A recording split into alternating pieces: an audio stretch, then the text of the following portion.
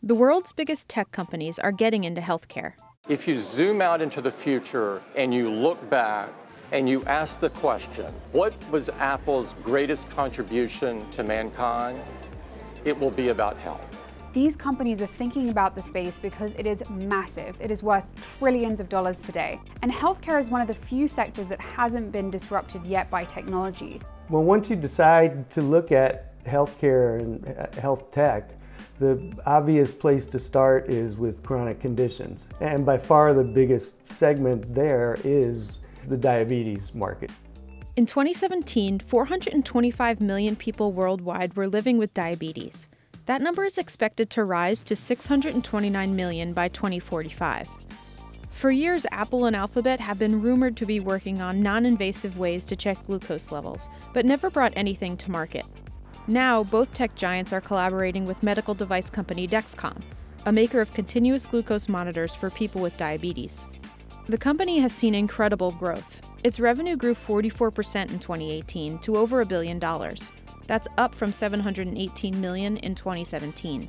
I mean, look, there's Uber, okay? There's Airbnb, and then there's Dexcom. All the tech companies are looking to healthcare, and they're looking to healthcare as a way to expand. and They're looking at healthcare as a way you know, to get to the future. We believe we can be an integral component of that for a number of these companies.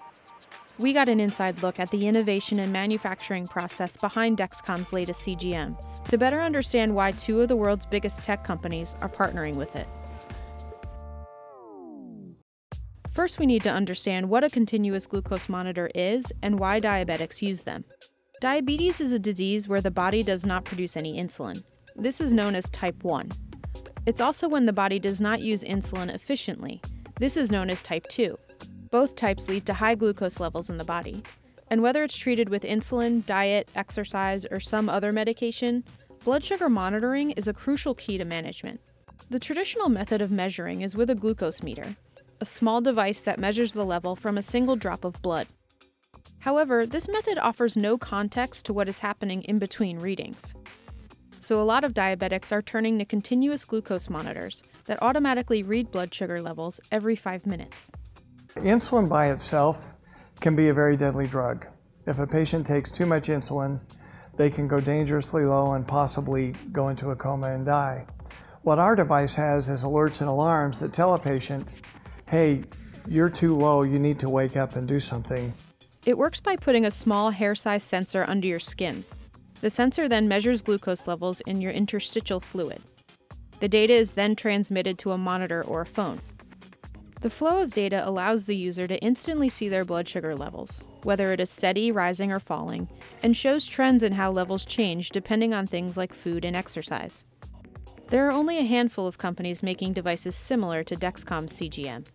There's really only two players in this market. There's Dexcom and there's Abbott and they're and they're basically taking a different approach. Dexcom is kind of like the quote unquote the Apple of CGM. You know, the high end premium product does get all the bells, all the whistles, whereas the Freestyle Libre from Abbott is a value proposition. Doesn't have all the bells and whistles, but it's extraordinarily cheap. It's easy to get in the patient's hands. It works just fine. Medtronic and Senseonics also have CGMs on the market. All four can be used with smartphones, and soon Dexcom will just need the Apple Watch. And we're also now supporting native core Bluetooth on the watch, which is going to enable experiences for apps that work with small devices around you. So for example, continuous glucose monitoring directly from Dexcom sensor to your watch.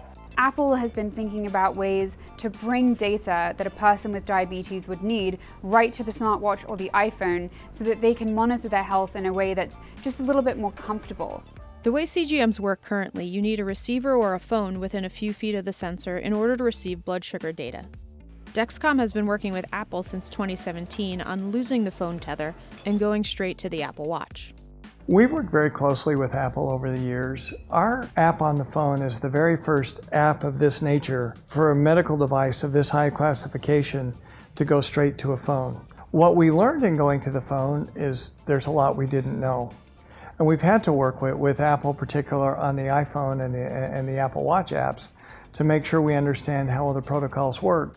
Our software will be upgraded to accept the Direct to Watch protocol But in addition to that, we have to update the firmware on the transmitter that is part of the body worn component so that it can communicate with the watch.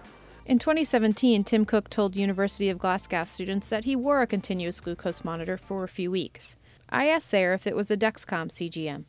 I know that Apple's very interested in the technology, and they've done some work and some studies around it. He may have worn ours. If it's going to an Apple Watch, he probably did. This new feature will only work on Series 2 and later Apple Watches because it needs the BLE Bluetooth connection hardware. Sayer, who was beta testing the Direct to Watch during our interview, said users can expect the official rollout in early 2020. Dexcom will also debut its next generation sensor in 2020, the G7. It's a collaboration with Alphabet's life sciences group, Verily. Several years ago, we signed an agreement with Google Health, which became Verily, to jointly develop a continuous glucose monitor configuration with them. And their responsibilities were developing the electronics and miniaturizing components and really taking advantage of things that, that they knew. And we, on the other hand, have developed the mechanical system, the sensor, and all those other components. We put them together. Verily is just one of many companies who have tried and failed at making non invasive glucose monitors. One of its first projects back in 2014 was a smart contact lens that measured blood glucose. It paused the project in 2018 after it found insufficient consistency in measurements of tear glucose to blood glucose.